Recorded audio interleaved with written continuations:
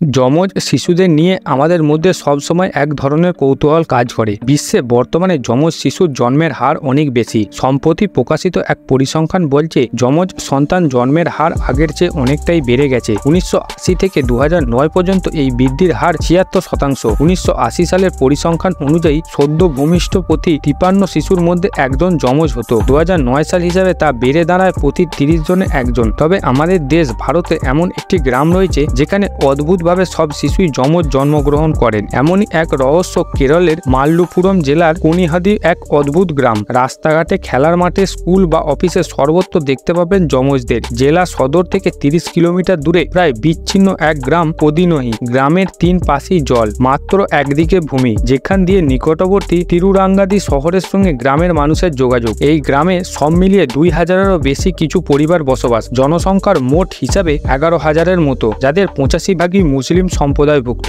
গ্রামের অবাক করা তথ্য হলো, মাত্র দুই হাজার পরিবারের মধ্যে যমজের সংখ্যা চারশো পঞ্চাশ জোড়া। কদিন এই গ্রামে যমজ সন্তান জন্মের হার বৃদ্ধি পেয়েছে ষাট থেকে সত্তর বছর আগে। তবে আগে এই গ্রামে যমজ সন্তান জন্মের হার স্বাভাবিক ছিল। বর্তমানে এই গ্রামে যমজ সন্তান জন্মের হার আগের চেয়ে বেড়েছে। ভারতে জাতীয়ভাবে যমজ সন্তান জন্মের গড় হার প্রতি হাজারে চারজন সারা পৃথিবীতে যা প্রতি হাজারে ছয় জন।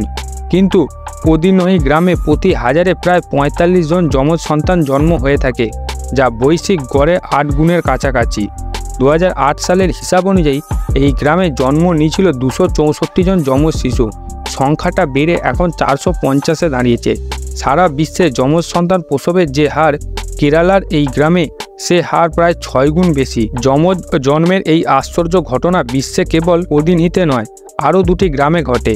নাইজেরিয়ার ইগবো ওরা এবং ব্রাজিলের ক্যানিডিডো গ্রামের মধ্যে। এই দুটি গ্রামের যমজ সন্তান জন্মের ব্যাখ্যা অবশ্য পাওয়া গিয়েছে। তবে একবিংশ যুগে এসেও বিজ্ঞানীরা সঠিকভাবে কদিনহির ব্যাখ্যা দিতে পারছেন না। কদিনহি গ্রামের যমজ সন্তানদের কথা বিশ্বজুড়ে ছড়িয়ে পড়লে জেনেটিক বিশেষজ্ঞরা এর রহস্য উদ্ঘাটনের সিদ্ধান্ত নেন। কিন্তু এখনও সেই রহস্য উদ্ঘাটন সম্ভব হয়নি। ভিডিওটা যদি ভালো লাগে তাহলে চ্যানেলটিকে সাবস্ক্রাইব করবেন। আপনার মূল্যবান সময় আমাকে দেওয়ার জন্য অসংখ্য ধন্যবাদ। দেখা হবে আবার পরের কোনো ভিডিওতে। ততক্ষণ সবাই সুরক্ষিত থাকবেন, ভালো থাকবেন।